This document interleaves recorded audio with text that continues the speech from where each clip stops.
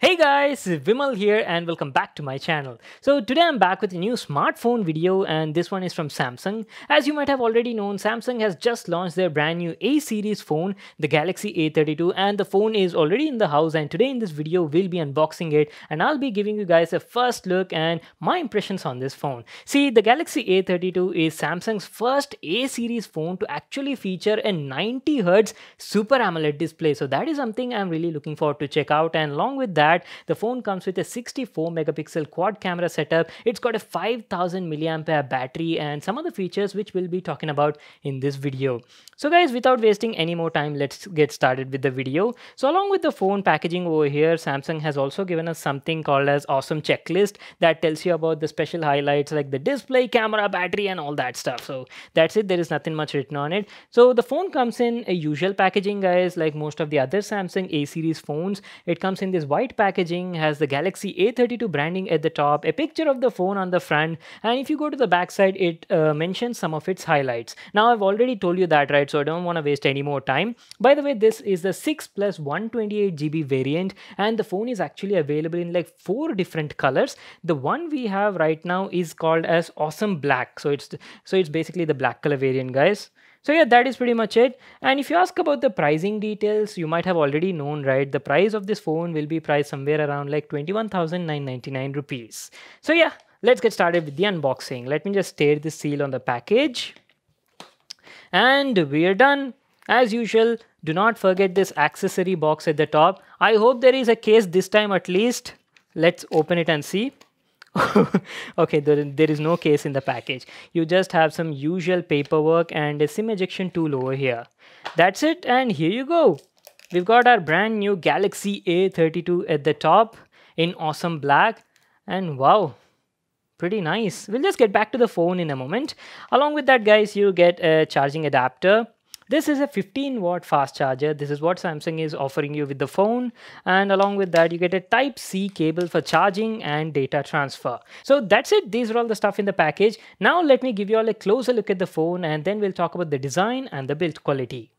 So here you go. This is our brand new Galaxy A32 from Samsung. We've got the awesome black finish and let me tell you, from my first look, I have to tell that the phone looks quite premium and stylish for the price point. See, what I'll do is first I'll give you a physical overview on the phone and show you what do we have on all the sides and then we'll talk about the features, specs and all that stuff.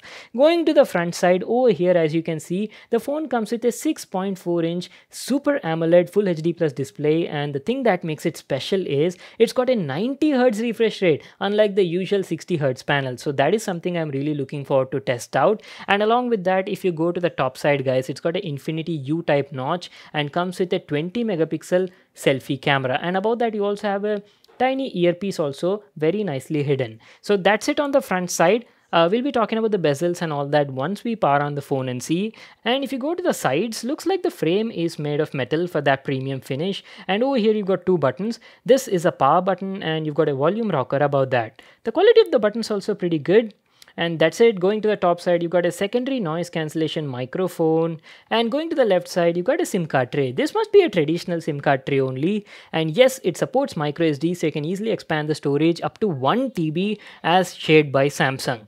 And here you go, this is how the bottom side of the phone looks like. Over here, you've got a 3.5mm headphone jack, yes, that is there, and a primary microphone, a type C port for charging, and a single down firing speaker.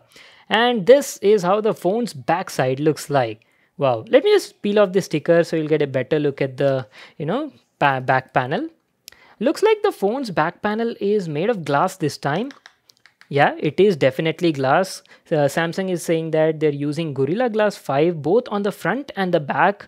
So that is very nice. Build quality looks pretty good. The brand is calling it as awesome black, but for me, the phone looks sort of like gray finish, guys. So that is what I'm seeing. I don't know how the phone is visible for you people in the video. You've got the Samsung logo over here. And going to the top side, we've got a brand new quad camera setup. I have to tell you, I kind of like this new design without any borders makes it look much more premium and stylish. So let me just tell you about the cameras. We've got a 64 megapixel primary camera. There's an 8 megapixel ultra wide angle camera, a 5 megapixel macro and one more 5 megapixel for depth sensing. And lastly, you do have a tiny LED flash as well.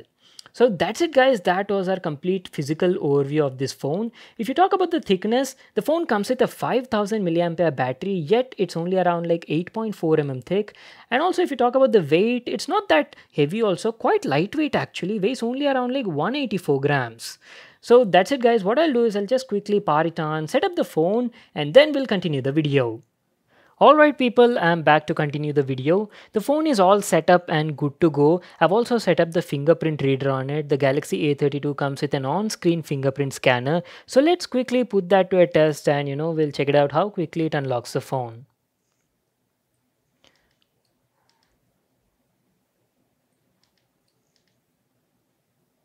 Okay, so the on-screen fingerprint reader is definitely doing a good job, but it's not that fast as I was expecting it to be. Anyways, this is how the home screen on the phone looks like. The phone comes with Android 11 version out of the box and runs uh, Samsung's newest One UI 3.1 will be coming there in a moment. And by the way, I have to tell you the phone comes with very thin bezels if you can observe. It's got thin bezels on the sides and the top, but has slightly a bit thicker bezel on the bottom side. And at the top side, you've got the Infinity U kind of notch with the front camera sitting in between there. I have to tell you from my first impressions, the display on this phone is absolutely gorgeous, guys. I mean, just look at that. Super AMOLED definitely is one of the best displays Samsung makes. And on top of that, it's 90 Hertz, right? You can definitely feel the smoothness. By the way, I forgot to mention the phone is powered by MediaTek's Helio G80 CPU. We'll be talking about the performance in a moment. And yeah, first let's quickly just head over to the settings and just check out the software info. I've just told you right, the phone runs Android version 11 out of the box and One UI version is 3.1. And if you ask about the storage, well, this is the 128GB variant and out of the box, let me just show you, you have around like 104 GB of usable space. I haven't installed any apps yet. So yeah, if you feel that is not enough, uh, you can even install microSD cards. That option is also there. You can expand it up to 1 TB of storage. So first I have to tell you about the performance guys.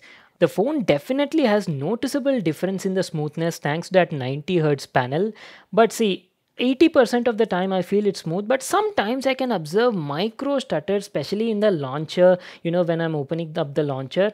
Can you see that? I'm not sure if you can make it out in the video, but sometimes when you're opening the launcher, there are like micro stutters happening. Again, this is not happening most of the time. And also if you go to the left, you've got Samsung's free or Google Now. You can choose any one of them. And here you go. This is how the new One UI looks like. Transparent design, pretty nice.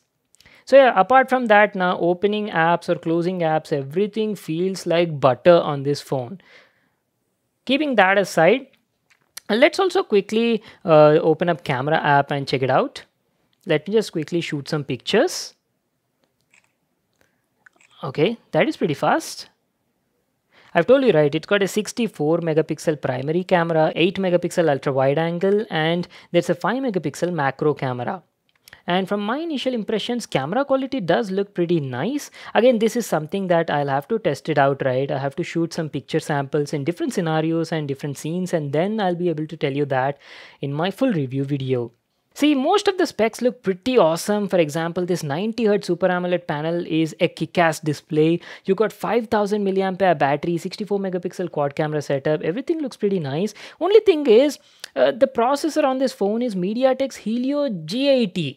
Samsung says that this phone is specially targeted for offline market and you know for the older generation people like for your uncles, aunties or maybe grandparents. For them this might be okay, but if you talk about youngsters or people who do a lot of online shopping right at a competitive price, this may not be not you know it's not made for them because you can't do like excellent gaming on this phone. So that thing you'll have to keep in mind apart from that if you talk about like day to day normal kind of usage then it's okay. Like it can get your job done.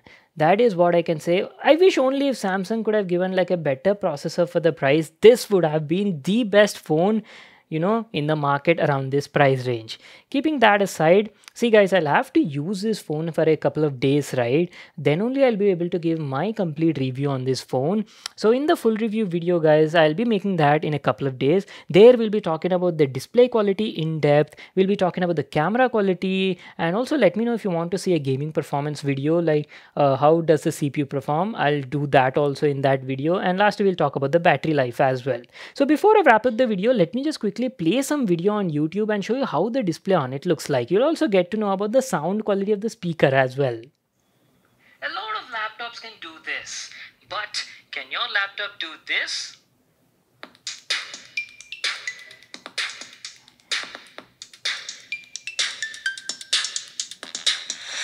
Hey guys, this is Vimal here and welcome back to my channel. So today I have something very interesting and fun laptop to show you all guys. So this is a new one from Lenovo. It's their all new Yoga 7i Intel 11th Gen 2-in-1 convertible laptop. Initial impressions, the display on this phone is absolute killer guys. Great amount of detail. The colors look on point, rich and vibrant thanks to that Super AMOLED panel and also everything feels fluidic and smooth thanks to 90 Hz refresh rate. We'll talk about in depth about the display in my full review video. And if you talk about the sound, it, I've told you right, it's got a single down firing speaker on the bottom side and the sound quality was also pretty good and also output was also decent and loud pretty satisfactory I felt. So that's pretty much it guys. I want to wrap up the video. Don't want to go in depth anymore right now. If you all enjoyed it, make sure to give it a thumbs up and subscribe to my channel for more such awesome videos. And also if you have any other questions that you would like to ask about this phone, let me know in the comment section and I'll try to cover them in my full review video. So that's it and I'll see you all in my next one.